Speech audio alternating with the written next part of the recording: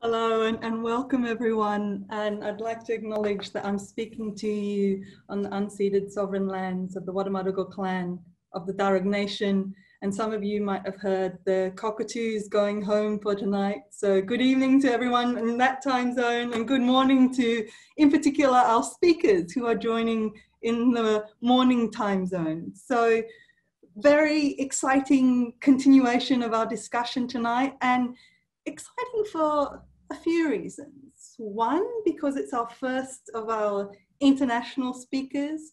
We've got Esther from Wageningen in the Netherlands, Andy and Rob in the UK, and Werner joining us from South Africa. So really exciting in that sense, but also exciting in terms of both the continuation of the discussion that comes out of the papers we're just about to hear, but also some of the gaps that today's this session's presentations will start to fill. So for example, Werner is engaging very much with issues of use, which hasn't been much of the discussion so far, and welfare issues around animals. And then continuing around the critique of categorization that has occurred in the earlier sessions, we've got the two, two huge stars, but from very different disciplines, huge stars of the IPBES global assessment in Andy and Esther. And then moving on to Rob, filling this important um, gap because we haven't until Rob starts to speak engaged with trees or um, this whole other order when talking, this whole other kingdom when, when talking about extinction. So really interesting topics that we'll be talking about right through. So before I go on to let you hear from the people you actually want to hear from, a few procedural issues. So as before, we have the chat box open and very much encouraging you to do what you've been doing all day. Feel free to enter into the chat box at any time and, and have discussions there, which I'll then direct to the speakers. I'll take, I'll take one burning question at the end of each presentation. And at the end, we'll have a group discussion. We can take questions from all the presenters there, then. And um, all presenters know that they have 15 to 20 minutes. I'll give you a sign at 15 minutes and then when you have two minutes left. And I'll then start getting a bit more agitated in my gestures. And if anyone goes far over the 20 minute mark, you'll start to hear something like this. But you get the idea.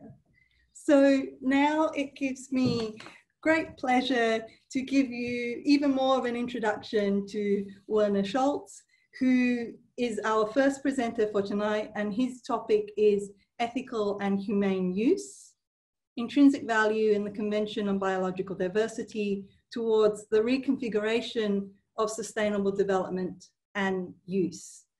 And Werner has had a range of leadership roles and he's moving from a leadership role as head of department at the Department of Public Law and Jurisprudence of the University of the West of the Western Cape in South Africa, moving soon to start in Southampton as the head of school and professor of global environmental law on the 1st of February, and importantly has made a, many contributions through scholarship, but also through academic leadership in the area of um, international wildlife law and in particular animal welfare and um, environmental issues very much concerned with what he's going to be talking about tonight.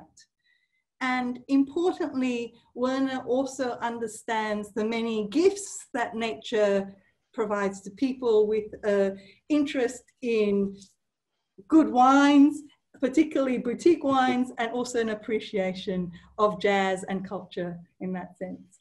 So join me in giving a huge round of applause to Werner to welcome him to talk to us about this idea of the intersection between use, but humane use, perhaps, animals. Werner, please. Michelle, thank you very much. Thank you very much for the interesting introduction. Good morning, everyone from South Africa. Uh, we have a sunny day today. Um, I shall discuss, uh, yeah, from a legal perspective, this is my caveat. I'll discuss some legal issues pertaining to the Convention on Biological Diversity and, and then take questions. So without further ado, I don't want to immediately or hear the, the, the alarming bell that you've just sounded a while ago. So I'll just start immediately and commence with the discussion. Um, the point of departure of my discussion is essentially COP7 decision, Conference of the Parties decision of the Convention on Biological Diversity number seven. Um, and it is the so-called sustainable use decision. Uh, and that is the point of departure of this whole discussion. This COP7 decision on sustainable use um, uh, includes an adoption of the so-called Addis Ababa principles and guidelines for sustainable use. So for instance, um, principle 11 contains an operational guideline, which states that sustainable use requires the promotion of a more efficient, ethical and humane use of components of biodiversity. biodiversity. So, and a very interesting link to that is principle 10 that refers to intrinsic value and therefore repeating the notion of intrinsic value that we can find in the preamble of the CBD. Now, the relevance of this uh, COP7 decision, as well as the principle, the, the relevant principles I just referred to, is the fact that it constitutes the foremost decision on sustainable use.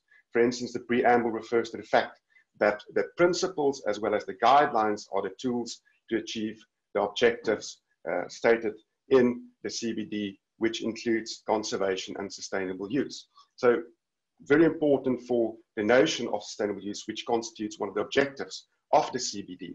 Now, in terms of law, also, if we consider the normative value of the COP7 decision, including the principles and guidelines, um, it is a very interesting discussion, which I'm not going to delve into. We don't have time.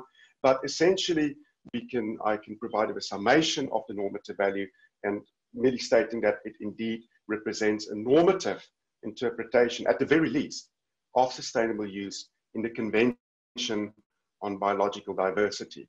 So it is quite obvious that we need to take cognizance of operational guideline principle 11 linked with principle 10 in the sustainable use decision. It is very important.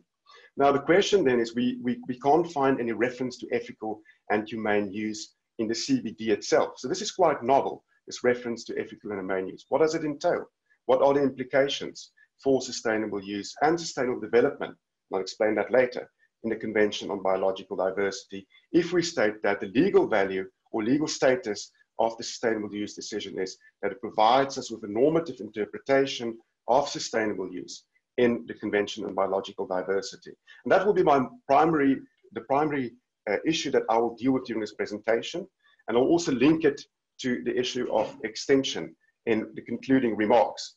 So what I will do briefly is just to gain an understanding of, the, of the, the terms ethical and humane use. I'll, I'll actually unpack it via reference to a very groundbreaking or two groundbreaking uh, cases that we heard recently in South Africa. I'll also explain the international value, the global value of those of the case law that I've just referred to. And subsequently, I will unpack the issue of sustainable use, sustainable development linked to values in the Convention on Biological Diversity under auspices of the case law that I've just described in order to fulfill this aim that I've just mentioned. So that is just part of the introduction. Now, if we turn to the case, the first case, and I'm not going to provide an ex, a, a detailed exposition of the case law, but just briefly refer to the most relevant parts. Um, the National Society case um, was a very interesting case. And in this case law, it, it actually never dealt with wildlife welfare such, but cruelty against a, a, a, certain animal, slaughtering, the ritual slaughtering of a camel. And in this case, um, the International Society case, a few interesting things emerged, uh, really very radical in terms of uh, current case law in South Africa, but also I think on the international plane. The first thing is that uh, the, the judges dealt with section 24, which is environmental provision in our constitution, and said that constitutional values dictate a more caring attitude towards not only animals, but also humans and the environment in general. So sort of a, a, a reconciliation of individualism and holism, uh, species, but also individual animals. And specifically, the, the, the, the judge just made it very clear.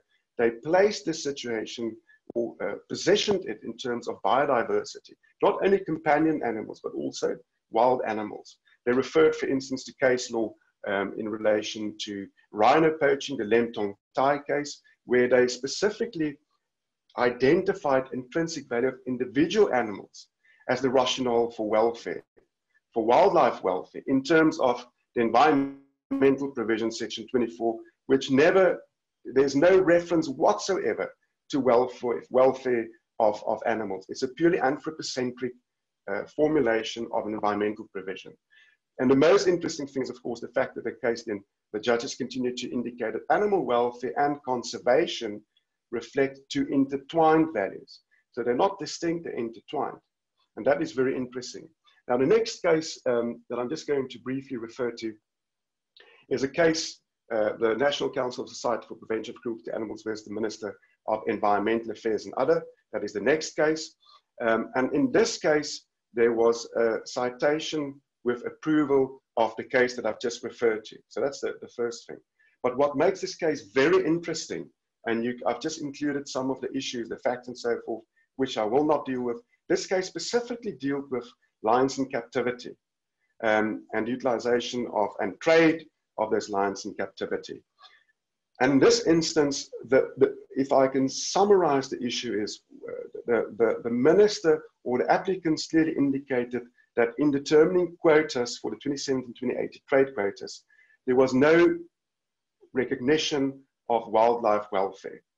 And obviously they had in mind the previous case law, which made it clear that now wildlife welfare is part of section 24. The respondent, the minister stated, but there's no well, there's absolutely no reason to consider the wildlife welfare issue at all. And she actually made it clear that in terms of section 24, the concept of the constitution, there's a reference to sustainable use and sustainable development, but no welfare. And that was the gist of her argument. She even went as far as to say that the applicants, the, the NSCP, uh, you, they, they abuse this issue of wildlife welfare and that sustainable development as such that is not concerned with the welfare factor. It's concerned with the environment. That's the first thing, of course the, so, the, the, the, three aspects of the pillars of environment, economy, and the social. And there's no place for welfare. So that was her argument. Now the court fully rejected in this case, uh, in this, the arguments of respondents. Um, that is the next slide. And I just want to read this because it's, it's quite important, uh, where the court stated that their suffering, the conditions under which they are kept, and the like remain a matter of public concern and are inextricably linked to how we instill respect for animals and the environment. So they, they affirm the importance essentially of welfare as a component of sustainable development under the auspices of Section 24, which is this environmental provision which encapsulates sustainable development as the primary objective of the environmental provision. And therefore, there was a contravention of this element of wildlife welfare um, in terms of Section 24, and, and, and they fully rejected uh, all the arguments of the respondents. So this is a very, very interesting decision that actually unpacked that welfare issue that was found in the previous NSCP case. Now, why did I actually refer to uh, South African case law? Because I mostly deal with international wildlife welfare. Wildlife welfare. What, are the, what is the relevance of uh, the, the, the, issues that I've just mentioned? The, the, so the first thing is that, that we need to reflect on the consequences for the interpretation of sustainable development and sustainable use. Um, it is very interesting that if we consider this case law in the context of biodiversity law, we can distill a few lessons. Now, uh, quite clearly, uh, this rejection of the argument of the minister means that wildlife welfare is now part and parcel of the sustainable development mantra in South African law. We're now dealing still with South African law, uh, South African law, and that intrinsic value presents the rationale for uh, the protection of the welfare of animals. So that is quite interesting. Now, if we move on towards uh, or move away from the South African landscape to the uh, international and global uh, uh, fora, we can, if we take cognizance of what I've just mentioned, this, these groundbreaking statements, essentially very, very radical statements, um, if we reflect on sustainable development, sustainable use, and values in the next slide, we will see that sustainable use, the definition of sustainable use, also does not refer, as I've mentioned, to ethical and humane. It's a very anthropocentric focus that we can find in terms of references to uh, the Brundtland definition of sustainable development. So no, no ethical humane use, never mentioned.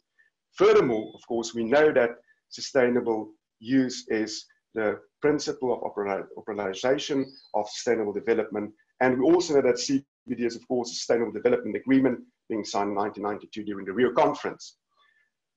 Um, the issue of sustainable development, the problem that I have with sustainable development, and we can discuss it further, is that it is ill-suited in cases of trade-offs between the environment and economy. It doesn't prevent a, a satisfactory response to the implementation of this notion of sustainable development. I'd like to refer you to the case law that I've just mentioned. There's this focus on economic values that we frequently see in terms of international environmental law, which to an extent excludes non uh, uh, uh, uh or excludes the non-instrumental values such as intrinsic value. So a very heavy focus on economic instrumentalism in terms of sustainable use in the CBD itself. Now, I don't want to deal with the, all the relevant values, but it is important to just revert back to what I've said previously, the reference to intrinsic value, which is a non-instrumental and rather non-anthropocentric value uh, that exists. Now, the preamble does refer to this, but what we see is that it is sort of uh, it is it is something that is that that does not really flow through to provisions of the CBD. If we take wildlife as a good example uh, in terms of the CBD, we can, it, it presents some interesting examples of the statement that I've just made and in support of what I've just said. Um, the one thing is, of course, that this dominant anthropocentric justification of biodiversity law by reference to the non-instrumental value, values fails to encapsulate the non-economic value of wildlife. So what we see in terms of C the CBD as well as international wildlife law is this focus on the prevention of extinction of species and not the welfare of species.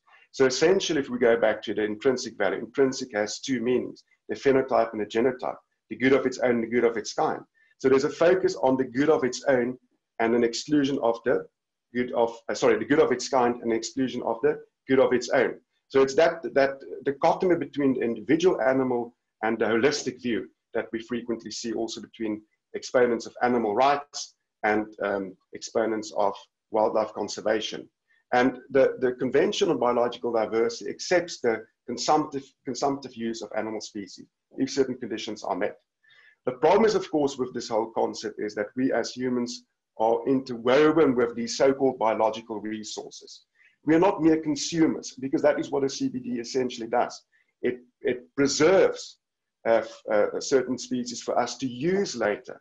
And that is a very skewed sort of perspective on, on sustainable use. Now, I know my time is running out, so I need to be careful.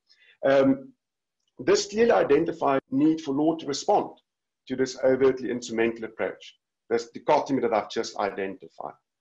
It, response to the needs of other species. So there needs to be a, a response that recognizes intrinsic value of species. Now, I've referred to the CBD that one can immediately say, but the CBD explicitly contains a reference to intrinsic value. But it's, a, it, it, it's sort of ornamental to an extent um, if you read the provisions of the CBD itself. And so, so my proposal resonates with um, the, the, the, quote of Bowman Davies and Redgwell in the Lyster's International Wildlife Law, which stated that any sound ethical policy should additionally have regard to the extent to which individual organisms are permitted to flourish in accordance with their biological nature. So that is what intrinsic value actually requires, the recognition of intrinsic value. And it, it currently does not uh, receive sufficient attention in terms of the CBD. So the sound ethical policy, this injection of non-anthropocentric ethics, of a more pluralist approach to ethics, requires a normative wildlife welfare framework. And um, once again, in international wildlife uh, law, we do find some, some glimmers of hope for this. Uh, for instance, in the IWC, where there is reference to uh, humane treatment of individual uh, or the, this, this concept of humane treatment in CITES. But frequently these provisions are incidental. So we do have glimmers of hope that we can pursue, but it's not sufficient. Essentially, this issue of humane treatment in accordance with the intrinsic value, the good of its own interplay between good of its own and good of its kind, is prima facie compatible with sustainable use. Because it doesn't mean you, you, you uh, humans cannot use animals, so it does not contravene sustainable use, but it relates to the mitigation of suffering, of course, and it's something we can also unpack further. So essentially, what does that entail? I need to conclude now. I've got four minutes left. Um, so let me just uh, wrap up to an extent. What I've mentioned is the fact that there is a lacunae in the Convention of Biological Diversity. We have uh, the sustainable use decision in decision uh, seven, which provides this issue or pre presents ethical and humane use. I've given you a, a very uh, uh sort of a summation of what implications could be in terms of South African case law. Now, what we see is for, therefore the following. There is a need for sound ethical policy that gives effect to intrinsic value. And humane treatment, so the ethical policy in terms of intrinsic value that leads to humane treatment of wildlife. So it's that marriage between uh, individualism and holism. The fortunate thing is, and this is my argument, that the sustainable use decision supports a so-called evolutionary interpretation of sustainable use, but also sustainable development in the CBD. That is the argument due to the normative legal status that the COP7 decision has. And that can be set uh, or can support the recognition of animal welfare. And we can find the motivation, therefore, once again, in the preamble by reference to intrinsic value. Furthermore, the argument that animal welfare constitutes a general principle of international law in terms of Article 38 of the statutes of the ICJ could strengthen this argument further due to the fact that it functions as a principle of interpretations. Interpretation. It does not mean that all forms of pain and suffering should be prevented and that wildlife cannot be used. But wildlife cannot be used to satisfy human interests without sufficient justification.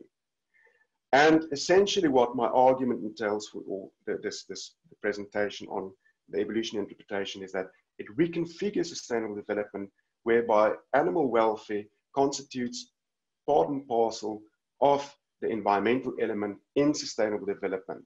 And in this manner, there's a recognition of non-anthropocentric ethics, a stronger focus thereon, which ultimately realigns the skewed factors of sustainable development, which I've referred to previously. This focus on economic values, so that the anthropocentric elements do not dominate.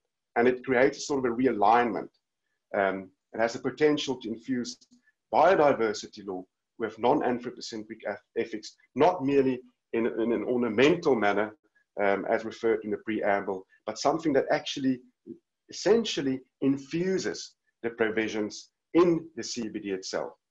And um, just to, uh, during the last few uh, seconds that I have, a minute and a half, if one takes cognizance of South African case law, the interesting thing is it, it can actually contribute to my argument in the sense that in terms of traditional communication, where there's a dialogue between different courts all over the world. Other courts that deal with similar issues can take cognizance of these groundbreaking decisions. But it can also strengthen the argument for the creation of a general principle of international law. So, um, my, my, my advocacy for uh, uh a reconfiguration of sustainable development via reference of the evolutionary interpretation of sustainable use is not radical at all. It actually resonates with the 18th General Assembly of the IUCN in 1990, which referred to ethical wise and sustainable use of some wildlife. It is not really new, it is not novel, and it's not radical. And we do have glimmers of hope currently existing in terms of law. And I think sustain, the sustainable use decision now provides the opportunity to pursue something else that is not merely consumption and preservation for human beings, but something that really responds to the needs of biodiversity law. And this integrative approach to sustainable, sustainable development and sustainable use can respond to extinction, not merely in a one-dimensional sense, merely functioning or, or merely focusing on the good of its own, but also recognizing the good of its kind, an important role that that actually plays in terms of biodiversity law. And in this sense, reconcile the needs of individual animals with the approach of conservation pertaining to species. I think this approach is very necessary because the extinction of speciesism um, in biodiversity law and this overtly anthropocentric approach is necessary in order to avoid mass extinction um, on our planet. The question now is that I've posed these, these arguments, and I hope convincing argu arguments, we'll have to see. The question that I then ask myself, is law ready to be liberated in this sense? And could we also state that humans need to be liberated from, from this, this, uh, this need to master the planet? And I think that constitutes fertile ground for further discussions. Thank you very much, Michelle. Thanks a lot, Werner. And I'm about to invite one burning question, but before I do, I want to get my two cents in about how this links to the discussions we've been, how it builds on the discussions that we've been having in the earlier sessions. And two things really resonated with me. One was your framing, opening up that framing of intrinsic value and thinking about it in in this depth of um, good of its kind versus good of its own and recognizing that those are different things and the other way i think you build on some of the discussions we had this morning is we some of the, a lot of the discussions were very much about how do we legislate differently how can transformation occur in a design sense but with those concrete examples of judicial interpretation you've highlighted another avenue with which this discussion can occur.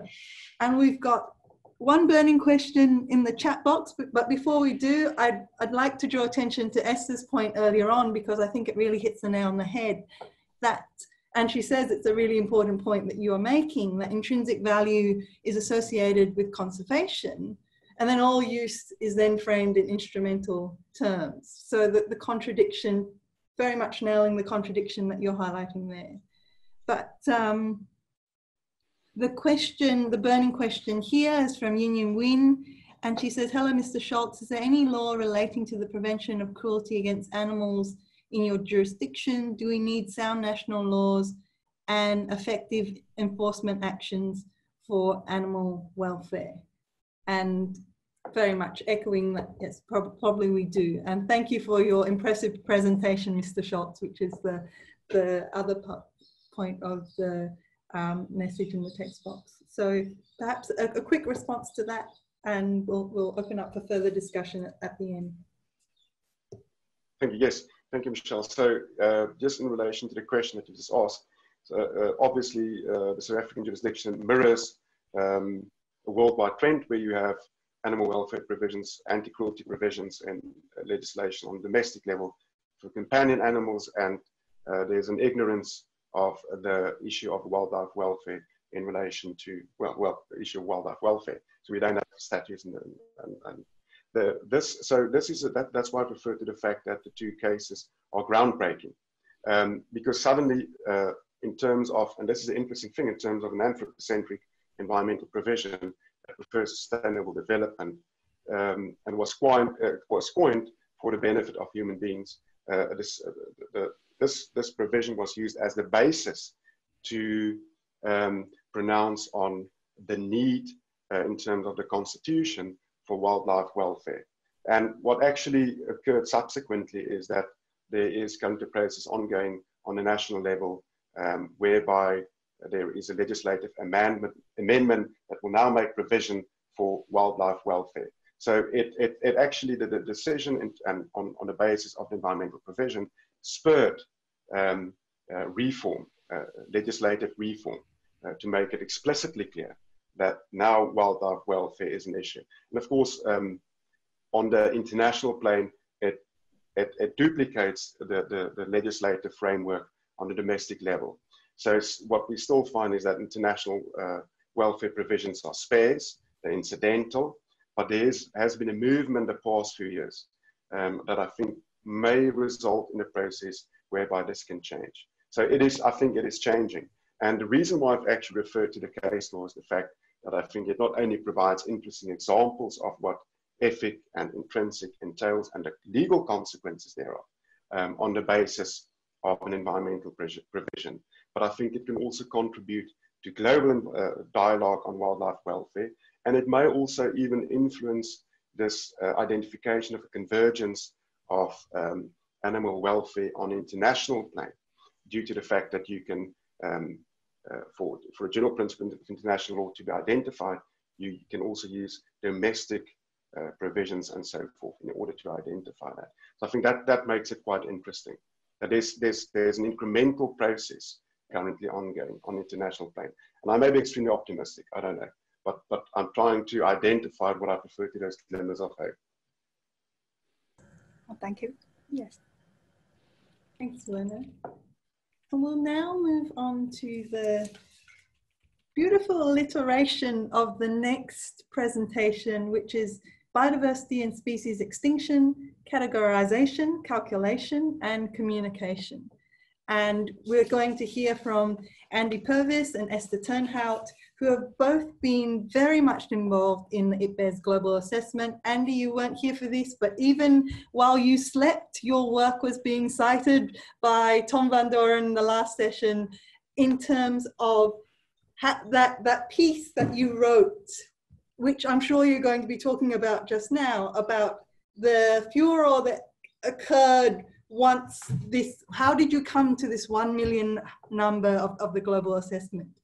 And um, by way of more introduction, um, Esther Turnhout is a professor at Wageningen University and interdisciplinary social scientist, and also very much involved, involved in the IPBES global assessment, particularly in the chapter looking at the governance issues and perhaps some of the solutions in terms of um, extinction.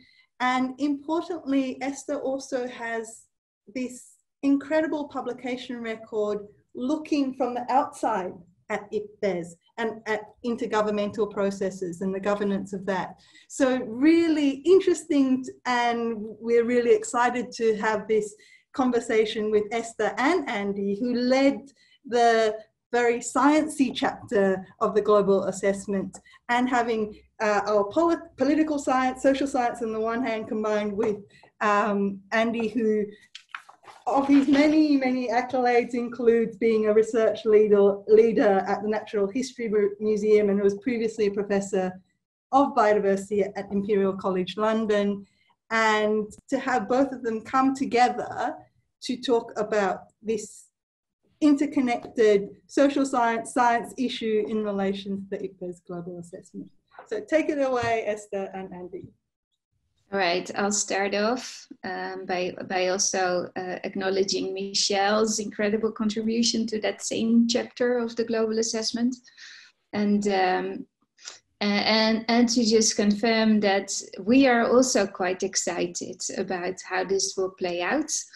Um, and I think uh, what we what we want to talk about a little bit is what role extinction or the idea of species extinction played in the global assessments. Uh, reflect a little bit on that. Um, and also take uh, take a step forward, a more future-oriented outlook, to think a little bit more about what should perhaps the CBD take from the global assessments um, rather than, and this is going to be a central theme in our joint arguments, rather than a narrow focus on species and, and their extinction. And next slide, please, Andy. So first of all, it's important to realize that uh, IPBES, or the Intergovernmental Panel on Biodiversity and Ecosystem Services, is kind of has shaped as part of a wider so the implicit contract between science and global governance, uh, which, uh, which is basically based on the assumption that science, uh, provided that it's properly synthesized, assessed, and communicated, uh, both can and should inform um, internet, international governance processes. Next slide, please.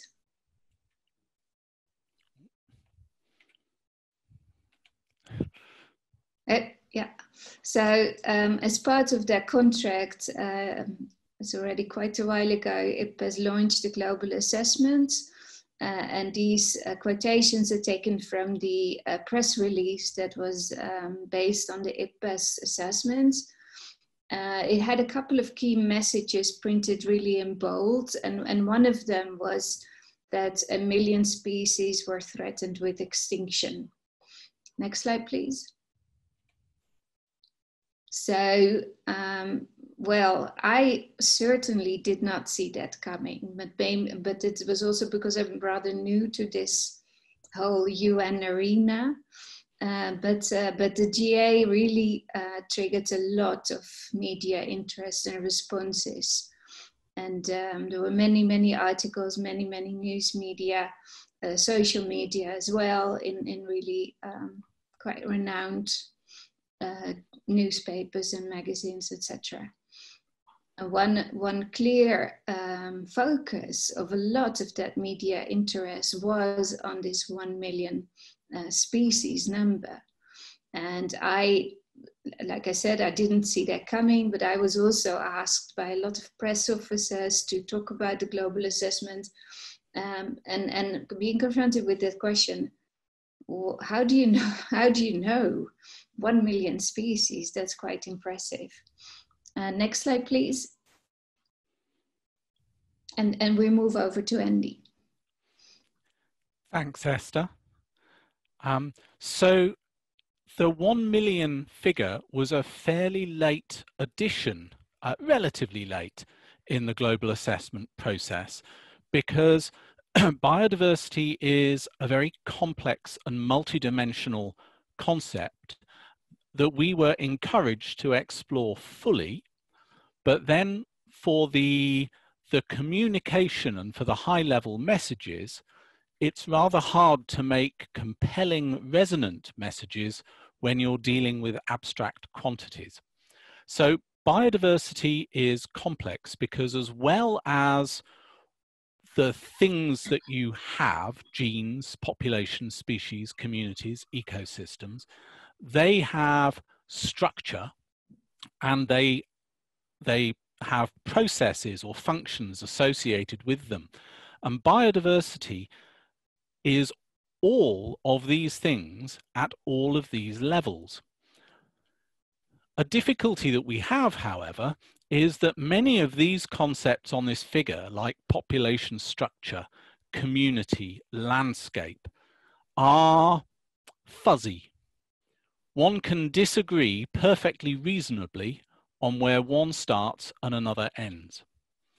And so it's very hard as a basis for any kind of legal or policy framework to rely on fuzzy concepts because if you just get someone else to do the counting, you can have made any target that you like.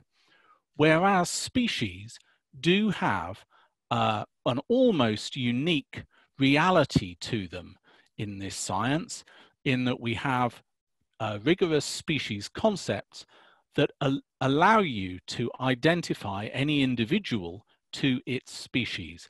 And because of a biological reality to species, different people will come up with the same categorizations, nearly all of the time. Also, counting species is a relatively easy thing to do um, you know, operationally. And so counting species is one of the few hard numbers that you can get to measure biodiversity. But you know that you're only getting one level of one aspect of biodiversity when you do that. So we would love for species number to have the same role in biodiversity science that global temperature or PCO2 have in climate science as being the thing you want to know or the thing that controls all of the things you want to know. However, we know that we haven't got that. And it's worse. Although species have an objective reality, we haven't done a brilliant job of documenting their diversity. We have a massive shortfall. We know pretty well there, there are disagreements over quite what fraction of species remain undescribed, but we think it's most of them. We have what's called the Linnaean shortfall. So we don't know how many species we've got. How can we know how many are threatened? How does the 1 million figure come about? So in order to know how many species are threatened, we need to know how many we've got, but we first of all, well, as well, we need to know what fraction of species are threatened. And the very wonderful, recently departed Georgina Mace, together with Russ Lande, put together the IUCN Red List categories and criteria, providing an objective, repeatable basis for assessing extinction risk of species. And these have been applied not across the whole of diversity, but to ever more groups of animals and plants, and allow us now to generalize that on average, although it varies among groups, on average, about 25% of species are threatened with extinction.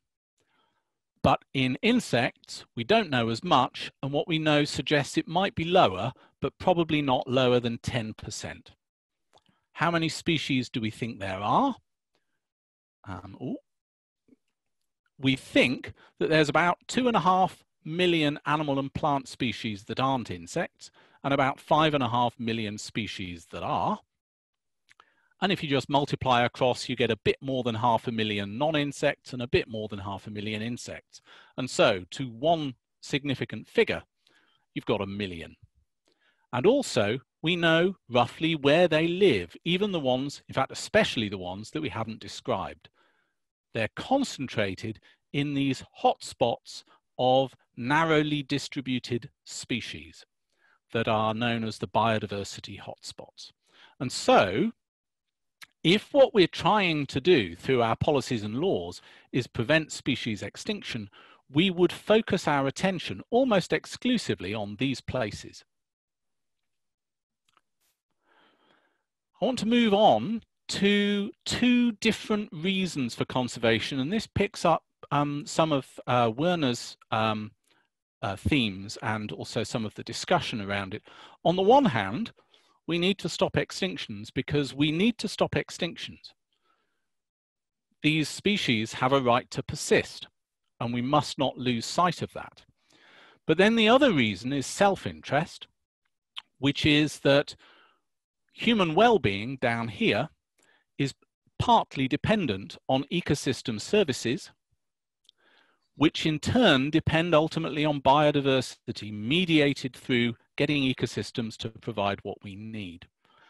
These ecosystem services or nature's contributions to people, there are many different sorts of them and, and they range through instrumental things like energy, food and feed, but also things with relational value, physical and psychological experience supporting identities. Um, and then there's also future options, options for future generations. I'm going to do just two very extreme, very simple thought experiments here.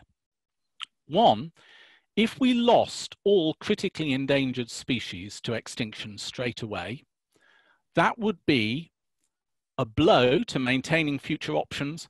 It would be a blow to some of these relational um, values, um, psychological experience, for instance.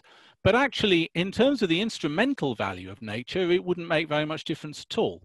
And that's because the ecosystem functions and services depend overwhelmingly on the common species, not the rare ones. So if we lost the critically endangered species, socio-economic impacts would be very slender. Whereas if all wild populations shrank by 25%, we would have no extinctions, but socio-economic devastation because we would run out of food. So there's a very big mismatch. If we're just trying to conserve species, we know where to do it. If we're trying to maintain ecosystem services, that's a different set of places. And it shows that we need multiple targets in the framework that CBD are putting together over the next generations.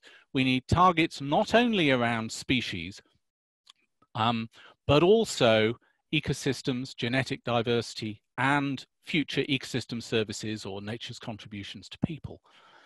Because these things are too separate to be encompassed by a single overarching goal. That's not to say, however, that they're completely orthogonal, and there are many actions that work at the intersections. So if we protect wilderness, it doesn't really help ecosystem services because there aren't people in them, but it does help these aspects of biodiversity.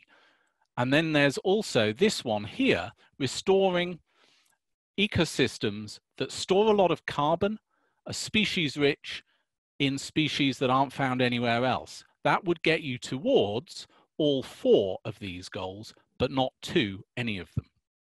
So we need multiple targets emphasizing holistic action, so a broader view of biodiversity than just species. But arguably, even the focus on all of biodiversity is too narrow. So this figure from Raworth's Doughnut Economics book points out that we have to exploit nature to achieve the social foundation human rights rely on, but that if we crash through the ecological ceiling in any of these planetary boundaries, we compromise the ability of the planet to support ourselves and future generations. And what Raworth argues is that we need to consider actions, laws, policies, and frameworks in the whole to move towards the donut, both from outside and from inside. And so we have to be careful not to cast biodiversity conservation as in tension with achieving the social foundation. The two things go together.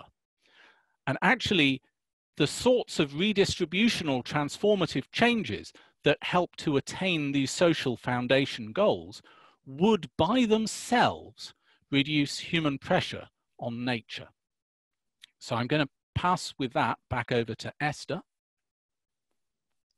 Yeah, so what this suggests, and this is um, and this is really something that uh, that is becoming increasingly clear in, in different sorts of venues and workshops that I've engaged with, is that um, biodiversity conservation or um, um, reducing extinction or loss of biodiversity is, is really um, has to go quite widely beyond the scope of biodiversity as it's commonly understood. And because and since uh, the global assessment also quite clearly concluded that uh, uh, like Andy also said, just reducing human pressures uh, goes a long way in, in, into achieving those objectives all at the same time. Um, of course, you, you start to see that biodiversity knowledge becomes quite threatening to vested interests. So partly this is a result of, um, of this contract where we believe that science is instrumental for governance purposes, and when that science uh, starts to threaten um, established interests, of course, you invite, you almost invite um, the emergence of uh, denialism. And again, this was really a surprise to me, but I guess it shows how new I am to this field. We indeed saw, in parallel to what we've seen with climate, also the emergence of extinction denialism and the one that has probably experienced most of that um, has been Andy, I think, on the basis of this 1 million number. And these are just two quotations that I took from some of the responses we've seen. Uh, next slide, please. So, what we're suggesting actually is uh, for global biodiversity science to properly inform um, governance and law, um, it, it needs to move actually beyond such a narrow contract where, where uh, science provides the numbers for policy making to take up. And I think IPBES has already made really important steps in into that direction in harnessing or trying to synthesize and assess a wide diversity of expertise and also the whole process of creating a global assessment has um, has elements of what you could call democratization or co-production, where science is really placed in the middle of uh, public discussions. Next slide, please. I think what it also really resonated with, uh, we just briefly talked about this before the meeting uh, formally started, is that we need to really think hard about what this concept of biodiversity um, means to many people and what it uh, and how we could reframe those meanings. I guess if you look at the conservation community, biodiversity means uh, wilderness areas and iconic wildlife, put it very bluntly. Uh, as, as Andy has quite convincingly shown, I think um, it needs to be about much more than that if it has any chance to secure uh, human and social uh, well-being at the same time. So legitimate. Um, oh yeah, yeah. Please move on. So I'll conclude. So what what kind of conclusion do we draw from this? And there's a lot here. I'm sorry. uh, how, how, should we present biodiversity and how we should we represent biodiversity and its loss? And I think this is true in science, in policy, in law, in all of these, uh, and in conservation practice as well. Uh, we should be asking four main questions: What are we losing? How do we know? Why should we care? And what should we do? And I think for all of these four, uh, we suggest uh, um, a, a, broadening and a reframing and an opening up, uh, where we uh, believe that what are we losing? Uh, we need to go beyond sweeping statements about humankind is destroying nature. I don't know if you've seen. Um, uh, yesterday was on my Twitter feed. That that's a that's a that's a moving comment. Perhaps it's also an unhelpful comment because actually mankind isn't doing that. It is a specific portion of the human population that is having a massive impact uh, and that's where the responsibility should be attributed. Um, express who is losing what. And all of the different elements are part of biodiversity including equality, justice, and dignified human ways of living actually as a powerful inroad and a powerful focus of biodiversity conservation that I think hitherto is being um, largely ignored. Uh, how do we know? Uh, we need an effort to diversify and also decolonize biodiversity science. Uh, why should we care?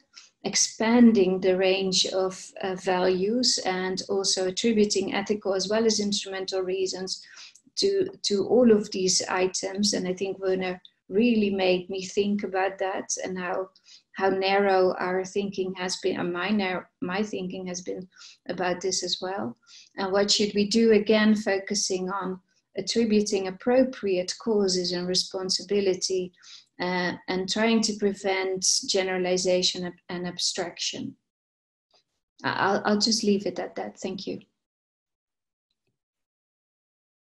Thanks so much, Esther and Andy. And um, as you're thinking of your one burning question, I thought it was interesting how at the end that Esther's talking not only about the political nature of the discussion that they've both had, but also about Twitter. And then if you go and look at Andy's Twitter profile, interesting how the bit that he's highlighted is the part of the IPBES global assessment, which says, by its very nature, transformative change can expect opposition from those with interests vested in the status quo. But importantly, there's another part of that sentence which says, such opposition can be overcome for the broader public good. So to me, that presentation was in many ways encapsulating the interaction that needs to occur across disciplines and as Esther ended on the different ways of knowing as well and an excellent set of questions at the end. Does anyone have a burning question for Esther and Andy? Oh, I have a question, Michelle. Go ahead. Yeah. So, thank you for a very interesting uh, presentation. I, I benefited tremendously from this due to the fact that um, I'm a lawyer and require, you know, this type of information um, to also broaden my, my perspective and so forth. So just two things. The one thing is, of course, uh, we protect what we value And that's why I focus on the issue of intrinsic value versus instrumental value. And, and Andy, you've just uh, sort of uh, accentuated the fact that um, still, if we, if, if, we only protect ecosystem services, I think we'll have a bit of a problem. So this, this sort of this exclusion of non-economic values. Um, so that's the one thing that I found very interesting. And, and it seems to be support to an extent what I've, what I've tried to argue. But what I also linked to that find very interesting is we as lawyers tend to, you know, generalize. Uh, and we talk about biodiversity and all these aspects because it's included in law. We don't have the knowledge that you, of course, have as natural science from the natural science perspective to really interrogate these aspects. And the one thing that I just, when you discussed all these aspects, the, the issue of complexity. So biodiversity, you've mentioned it, and is extremely complex. So as lawyers, we don't we don't really interrogate the complexity of biodiversity because it's in the CBD and we just, you know, we just go with the flow and work with it. So my, my problem is, and, and, I, and I hinted at it, but didn't really want to delve into it, is the fact that um, you made it very clear that biodiversity is extremely complex. And my problem is the, the way in which CBD is actually um, formulated is it, it, I have a feeling that sometimes it it sort of negates the complexity of biodiversity, as if we um, have sufficient knowledge in order to understand the dynamics and the complexity and the interaction between species and ecosystems and habitat and human beings and all these things. Um, which so so for me the, the, the feeling that I sometimes have or the, um, the idea that I sometimes have is that the biodiversity tend, uh, the convention tends to negate some of the complexity that exists and that's what I've mentioned uh, uh, previously. So we now use and conserve. And, you know, it's sort of simplistic, but, but it's not. And, and I'm just wondering whether this is not one of the very problematic aspects underlying the, the CBD, which is, I'm not saying it's, it's, you know, it's not a good convention, but I think that is a very problematic aspect. The, the perception or the approach, the mentality that we have sort of knowledge I know there's a pre, uh, precautionary principle, but in, in essence that we have knowledge in order to decide how do we use and how do we conserve. And that seems to me a very problematic aspect. Thank you very much. Thanks, yeah, I could I could respond to that, but Emily will also probably say something completely different. So so yeah, I agree. The CBD has problems and um, one of the problems is uh, common in biodiversity policy in, I think, many countries as well, is that it's a sectoral, it's a sector. So we have economic policy, and that is something else than biodiversity policy. So what I find really interesting and very powerful is that we see that um, uh, human rights law is increasingly applied to environmental issues. Um, so issues of justice for future generations, for example, has been successfully applied to environmental issues. And the discussions on ecocide are also, I think, to some extent taking place be, beyond the narrow focus on what we understand as biodiversity policy and law. And, and, and I think that is, I, I don't like the, that all of these discussions are taking place in legal terms. Uh, it would be better if we wouldn't always have to resort to court cases for these issues.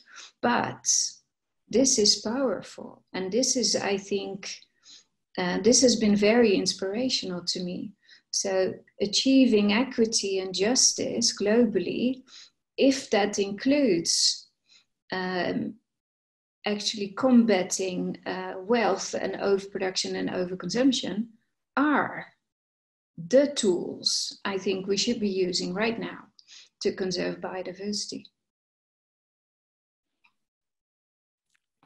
I completely agree in surprise for Esther. so, yeah, absolutely. Thanks, Andy. I can see that Judy Fisher has her hand up, and I would say one burning question because it's you, Judy. It's very nice to have the who's who of IPBES here. Judy is the is on the multidisciplinary expert panel of IPBES and has extensive knowledge, particularly around Indigenous and local knowledge. Please go ahead, Judy. Uh, thank you both, Esther and Andy. Um, it's really nice to hear something about IPBES happening in Australia because not much of it is heard here. So thank you very much for that. That's fantastic and for the organisers. I think Esther probably in a way answered what I was wanting to say, not so much a question, but thank you for bringing the whole concept about multidisciplinarity and moving away from this species driven approach, which for my long time in 30 years in this world, it's always worried me. So thank you very much for that. My question was, what is the solution to um, the discussion that we've had? So Esther, perhaps you've answered that, but if you have any further questions or comments, Esther or Andy, um, you may have answered it when you were talking about justice and ecocide, but perhaps there's other comments either of you might like to make. So thank you very much. Well, perhaps I could add that um, that when you look at the, the, the, the negotiations around the post 2020 framework, um, there's there's an urgent need to step up to step up the the way the conversations are going. Um, and the Aichi targets were really nice in a way, and we've achieved none of them.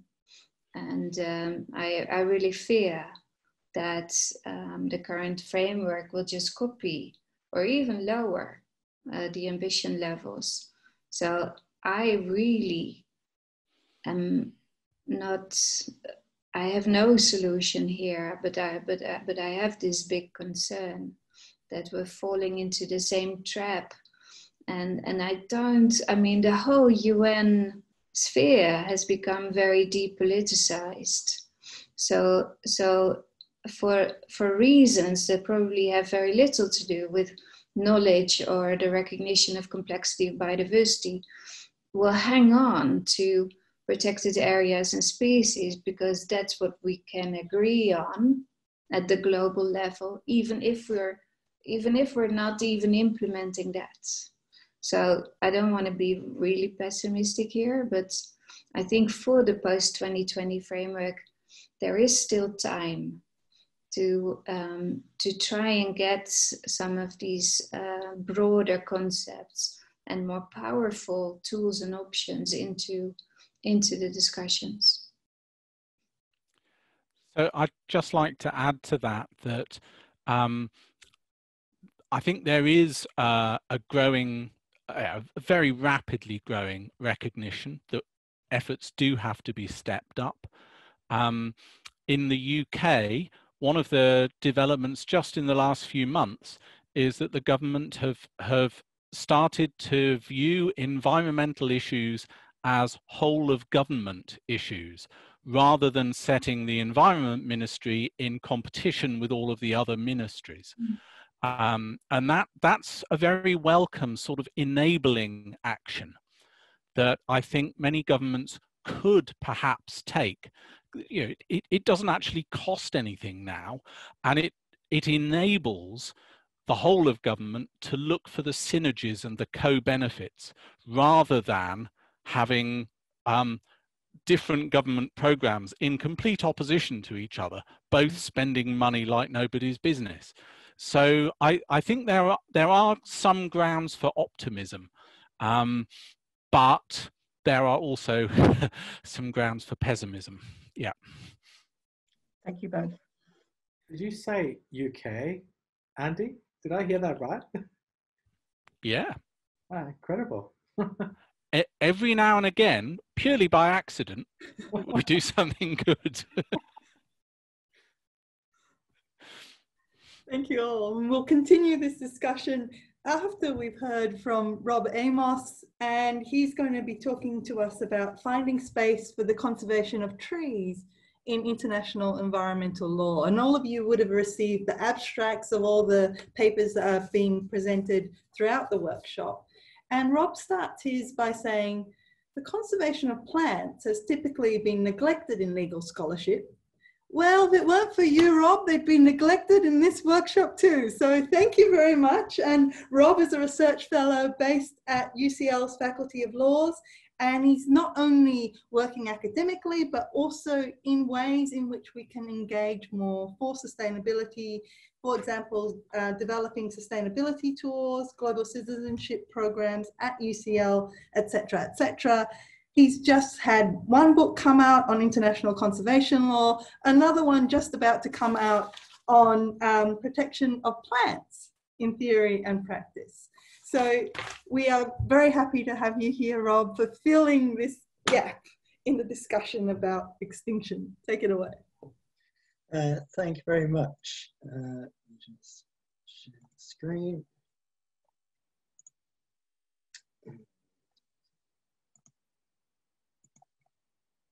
All right, hopefully you can all see that. Um, so the conservation of plants in international law, uh, even if we just focus on trees, is a huge topic. Um, it basically encompasses all of international environmental law and another, uh, a series of important topics in wider public international law as well. So what I am going to do today is just focus on particular issues that I think illustrate why it is that the law struggles to address plant diversity loss. So I will discuss how it is that society values trees and the implications of this for their legal protection. I will then briefly examine the opportunities and risks associated with using trees to tackle climate change before highlighting a tension between international law's typical approach to invasive alien species and the role these species may play in helping to restore degraded ecosystems. And this last point is particularly important because I don't think it's enough for us to just be discussing environmental law's extinction problem. Uh, our failure to halt the decline in plant and wider biodiversity loss means that we must also now begin to consider environmental law's extinction solutions. First, though, I want to set out some of the context behind my work. So in their 2016 report, Royal Botanic Gardens Kew, which is one of the UK's leading botanical institutions, estimates that around a fifth of all plant species are at risk of extinction. In the 2017 report, Kew highlighted some of the causes of this, including climate change, habitat loss, and invasive alien species. So in other words, the consequences of human activity. Uh, despite this, uh, plants have been neglected in a legal scholarship that focuses primarily on animals. Few, if any, books have chapters that specifically address the challenges in protecting and conserving plants, with the only text, legal text at least, dedicated exclusively to plants prior to the publication of my recent book being De Klemm's. And De Klemm's book was published before the Biodiversity Convention was adopted, which tells you all you need to know about its contemporary relevance. This lack of attention applies equally to the texts of key conservation agreements, and plants were almost completely left out of CITES, for example, until someone realised towards the end of the negotiations that they are a part of nature too. Now, I'm sure that I do not need to go into the fundamental ecological importance of plant life in any detail. Even if you know very little about plant ecology, that plants are the basis of every food chain and almost every habitat on Earth tells you what is at stake if we allow more and more plants to disappear. If their ecological importance was not enough, and sadly for some people this really isn't, then plants provide a range of ecosystem services and other benefits to humans. Uh, to give one example, plants are of great significance to the pharmaceuticals industry, and previous research into this plant, the colchicum, uh, has explored its possibility as a cancer treatment. Now, fortunately, the IUCN lists this plant as being of least concern in their red list, although this is based on a 2014 assessment and so, of course, may have changed. There are thousands of other plants, however, some of which may still be unknown to science, that are at risk of extinction, and when they disappear, any possible cures and treatments will disappear with them. Humans also use plants to help them achieve their social goals. Uh, I return to this later in my talk, but to give one example now, the Intergovernmental Panel on Climate Change argue that carbon negative technologies, that is technologies that remove carbon dioxide from the atmosphere, will be crucial if we are to achieve the 2015 Paris Agreement goals of keeping the global temperature rise to below 2 degrees C. Bioenergy carbon capture and storage is one such process, but its success will depend on the development of a sufficiently large biofuels industry.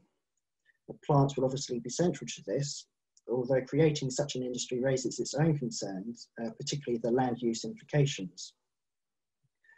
Contributing to social goals is just one way that plants can be said to participate in society, the others being how they shape social spaces and influence individual and collective human behaviours. And this participation and its continuing effect on human society further highlights the need for humanity to take urgent and effective action to halt the decline in plant diversity loss. This will never happen, however, while environmental law and policy are based on an ecologically flawed understanding of the value of plants.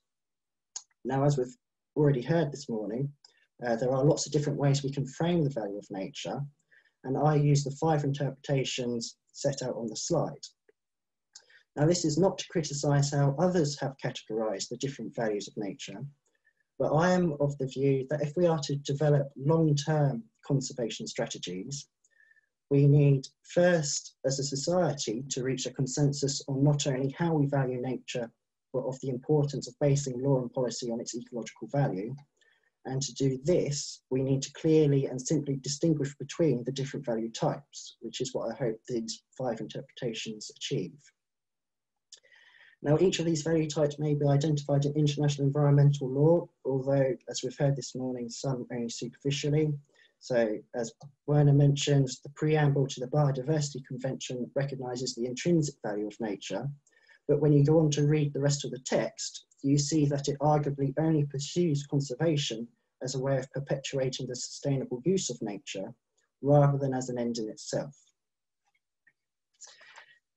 international conservation law is overwhelmingly based on the instrumental values of nature and indeed international environmental law more generally. And this is particularly true of forest conservation agreements. So the 1992 forest principles do not even identify forest conservation as a global concern and instead present it as a question of national resource use. The same applies to the 2007 instrument, although this at least places greater emphasis on promoting the sustainable use of forest resources. More recent agreements may be considered sounder conservation instruments. So the Biodiversity Convention's 2014 Forest Ecosystem Restoration Initiative focused on capacity building and implementation support to aid states in halting deforestation and the associated biodiversity loss. Uh, this initiative was intended to help states achieve targets 5, 11 and 15 of the Aichi biodiversity targets, which broadly address habitat degradation, protected areas and climate change adaptation respectively. But that the fifth global biodiversity outlook that was recently published concludes that targets 5 and 15 were not met and target 11 was only partially met, highlights the weaknesses of non-binding approaches to conservation.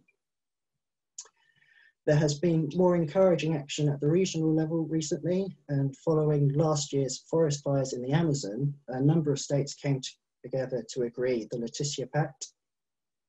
This still shares some of the weaknesses of global forest instruments, as it still emphasizes the role of national action, but it does go further in calling for coordinated transboundary approaches to forest conservation.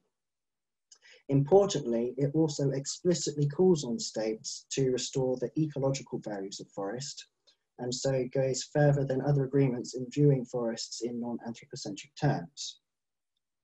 However, you only need to look at the attitude of the current president of Brazil to see that you can have the best international agreement in the world, but it will be of limited use if there isn't sufficient support at the national level.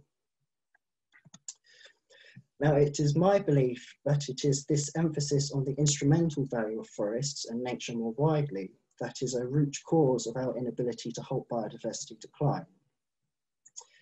If we shift the emphasis of our instrumental valuations from how we can use nature to how we can work with it to address global challenges, however, instrumental value may be a powerful incentive for conservation. So as I noted earlier, we use plants to help us achieve social goals. In terms of climate change, we do this through the use of plants as biofuels, but also through the protection and planting of trees and climate change mitigation strategies. Most notably through the REDD Plus program of the UNFCCC.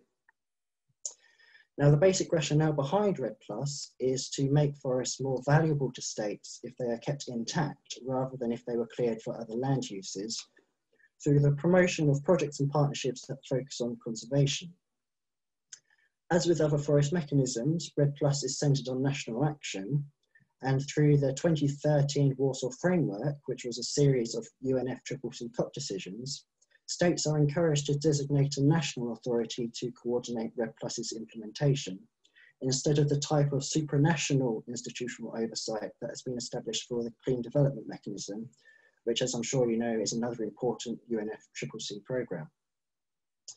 The role of the UNFCCC in REDD Plus is instead more facilitative, focusing particularly on the collection and sharing of information and best practice. Now this is a very positive use of nature's instrumental value, but by connecting forest's value with the amount of carbon dioxide they sequester, there is a risk that this will result in the prioritization of the protection and planting of species that absorb the most CO2 rather than maintaining natural forest diversity.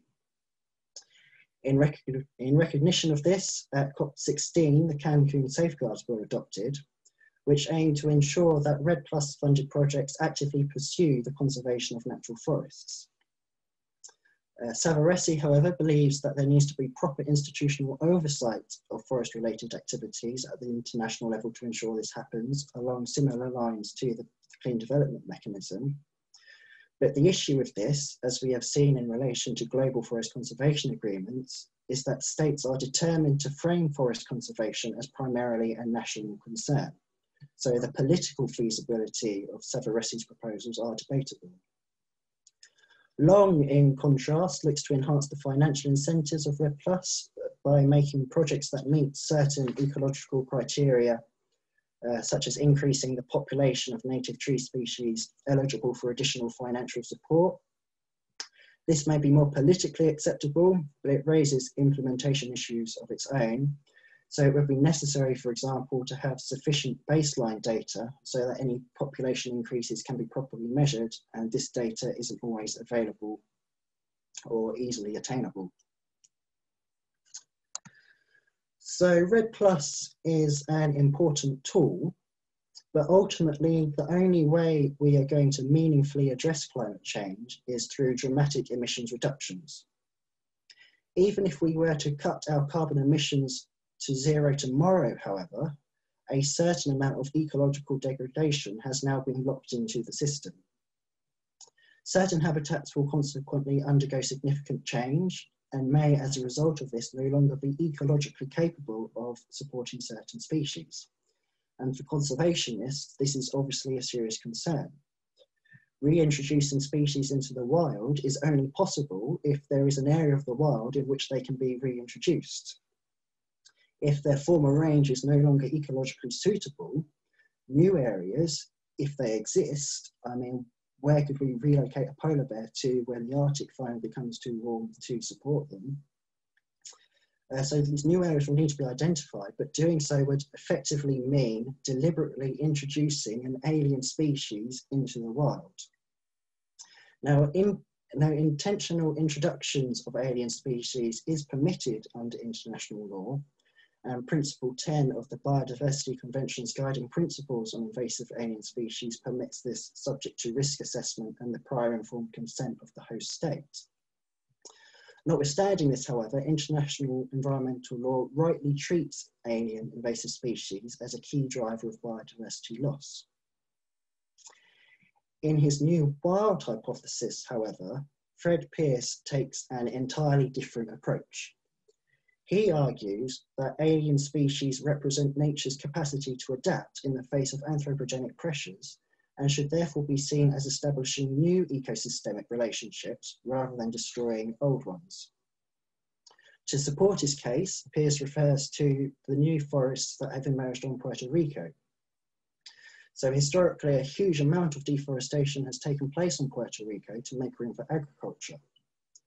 When the agricultural sector collapsed, much of this land was abandoned, but, but because the soil had been so badly degraded, it was no longer suitable for many of the native tree species.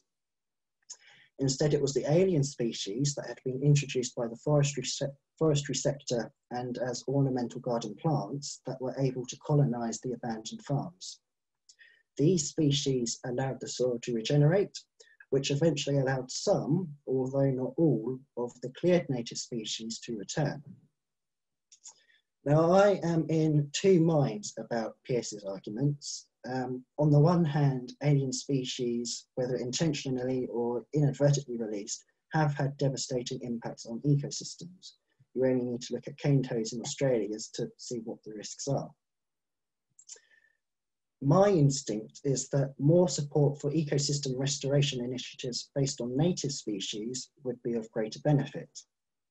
Uh, I do not have time today to go into the legal frameworks for ecosystem restoration or the wider philosophy and practice of rewilding in any detail, but there are numerous examples of how reintroducing once native species can have a transformational effect on the health of ecosystems.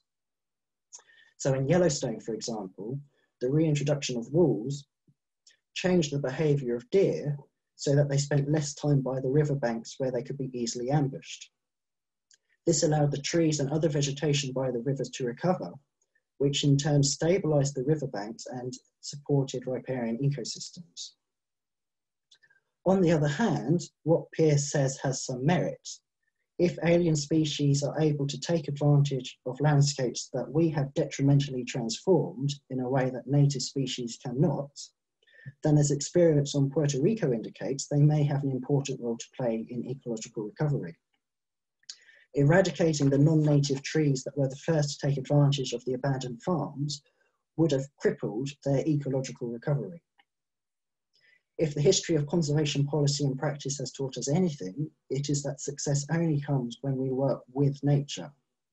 Trying to impose our vision of what nature should be, whether this is based on romantic ideals of pristine wilderness or the belief that we need to replicate what we have destroyed, will be extremely costly and ultimately self-defeating.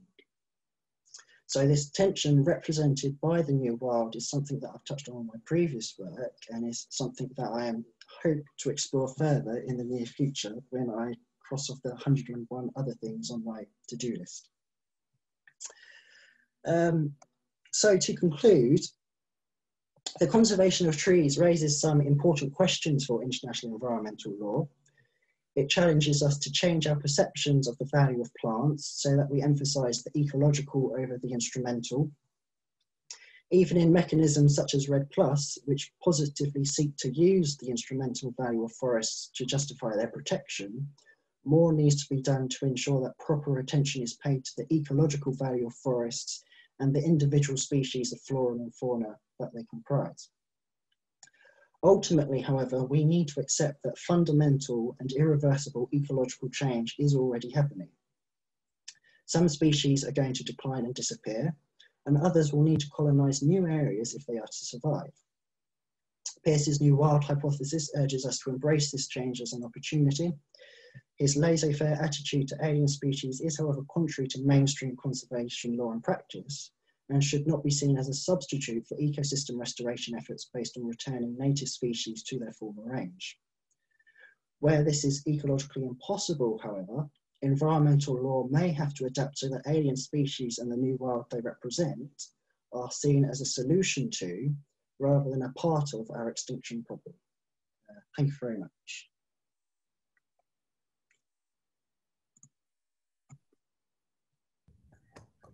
Thanks very much, Rob. And I wish you, I know it would have been crazy o'clock in the morning, in the night for you, but I wish you were here for Lesley Hughes's presentation this morning because the, the essentially, Anne, you would be pleased to know that she's a plant ecologist, even though her examples were in um, the zoological space. But the call to arms to think differently about our relationships with nature and, as, as you put it, how we work with nature is something that resonates across the, the two pieces and in some ways a very difficult task when our connection is based on thousands of years, millennia of, of a particular type of interaction with nature. So thank you very much for, for that. Anyone have a burning question for Rob?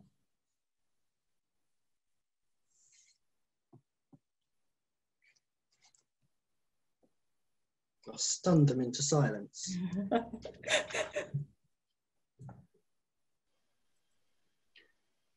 Michelle, uh, uh, may I ask a question perhaps? Go ahead, Werner, please. Make mention of something.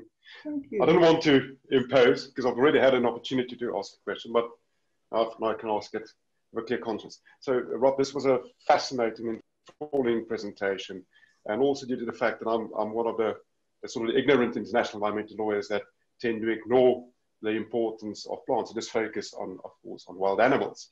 So for me, it was also uh, extremely interesting and a, sort of wake up call uh, to remind me of the fact that biodiversity is, is broader than just focusing on uh, of, uh, you know, wild animals and so forth.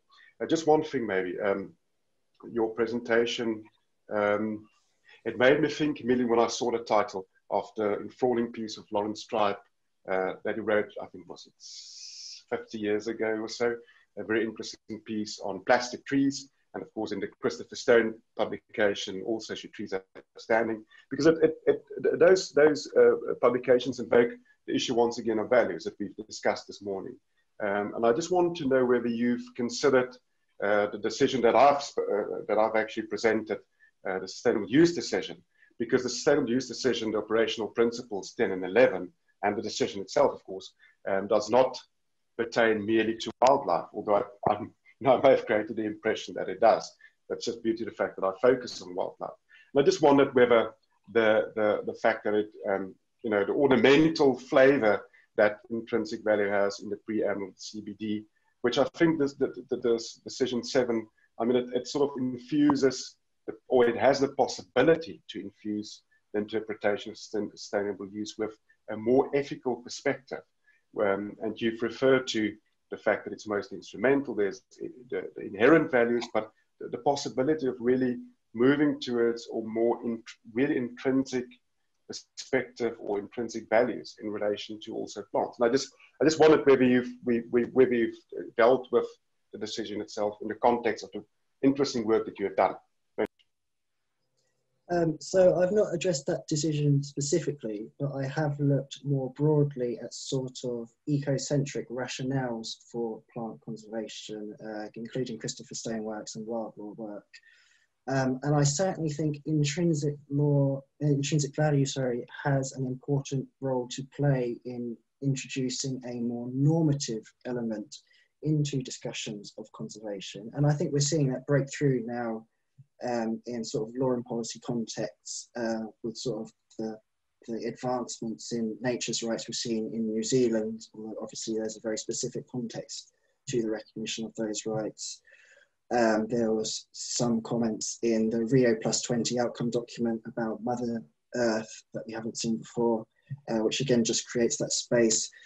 My issue really with intrinsic value as our primary, primary basis for conservation is that it focuses on individuals um, rather than ecosystemic relationships. So you could argue that we could pursue an in intrinsic approach to conservation just through zoos. I mean, they could be the most amazing zoos in the world, but we are in zoos conserving individual species but if, if we just base conservation on that, uh, ecosystems will collapse, which is why I think it's more important for us to focus on ecological relationships, which conservation practice, um, I think, now gets. I mean, the Georgina Mace was mentioned earlier, and Georgina Mace has published an excellent article, I think it's in Science or perhaps Nature Communications, where she charts the evolution of conservation practice from a very siloed approach of looking at individual species, individual habitats, individual threats, to now looking at the relationships not just within nature, but between nature and society. And I think the law is getting there slowly, but because our main international conservation agreements are decades old, they're still wedded to that siloed approach and haven't yet made that intellectual leap uh, to a more relationships model. Thanks, Rob. Afshin had his hand up. Um, Rob, thanks for that uh, presentation and thank you for your work. I, I think it's fantastic to see, um, I guess, more sustained attention brought to trees and plants and stuff like that. I, I myself have an interest in in a different dimension of trees, which is their capacity to have a, a social existence and relationship with their environment and how they connect and entangled and stuff like that. But I, I, I had two different types of questions. One is, uh, I, I think that there's um, often, uh, you know, trees like invertebrates, I think are just boxed into one type of, they're caricatured in a particular way and I think that takes away from the the nature of the discussion we have about trees. And I guess my question to you was, you know, do you see do you see a diversified way in which international law has in various instruments deals with trees? But there's another type of question I have as well, which is that do you think that part of your critique of conservation and your book in international law is because perhaps unlike other areas in domestic law, the and in domestic contexts, the governance regimes around trees are probably far older and sustained and developed. And I guess what I'm thinking about is in the context of, say, Australia, like where I live, I'm not allowed to touch hardly any trees around me. Um, and so the conservation regime for trees is so well developed and uh, the compliance regimes are so sustained and so uh, sophisticated that I wonder if that's put pressure on international law to not need to develop or, or not. So I guess this is, my, my second question is about the tensions between domestic and international and whether the critique of international law is perhaps um, uh, more complex because of how domestic systems have, for some of them anyway, for such a long time, dealt in very sophisticated way with trees. So just some questions to, I guess, explore. Um, so on your second question, I think there may be an element of that.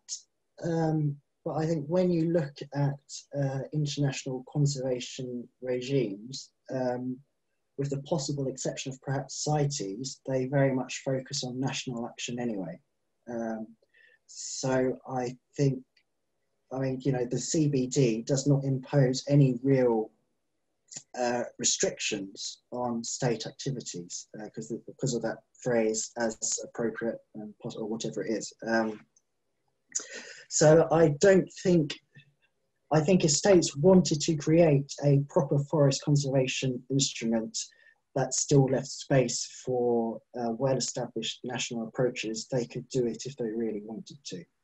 Um, I think the bigger issue is that forests are primarily seen um, as an economic resource and states are reluctant to cede any control um, over how they manage forest as a resource.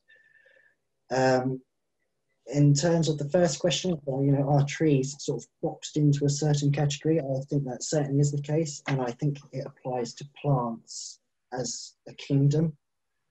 Um, so, for example, when I was looking into the impacts of climate change on plants, there are a number of studies that say that actually as a whole, plant life is benefiting from climate change because of the warmer temperatures, uh, more rainfall, so they've got a longer uh, growing season. So you can actually track a greening of the earth over the last couple of decades. The problem is uh, plant diversity is decreasing because it's only specific types of plants that are able to take advantage of these um, changing conditions. Um, so grasses are doing particularly well, but polar and uh, mountain species are struggling because if they've adapted to cold temperatures, um, as temperatures rise, their growing range retreats. Um, so if you take mountain plants, for example, there is only so much more mountain they can climb before they run out of mountain. Um, and that distinction, it, it's just not there um, as a rule in conservation agreements. Even in instruments that address, you know, mountain conservation, they do not distinguish between uh, mountain trees that are probably quite happy at the moment and the very specialist alpine endemic plants that are at real risk of disappearing. Mm. That's great. Thanks, Rob. Thanks, Rob, and thanks to all our speakers. I know, Philippa, you have your hand up, and I'm sure it would have been a really, really good question. It always is, but I'm conscious of what the time is and also the amount of energy you've all put into this session, both as active listeners, but importantly, to our speakers. So thank you all so very, very much, and we look forward to seeing you tomorrow in our time zone, which would be morning in our time. But uh, you're clever people, you can work it out. So see you in the morning or whatever time that corresponds to wherever you are on Earth. Thank you, everyone. Thank you, everyone.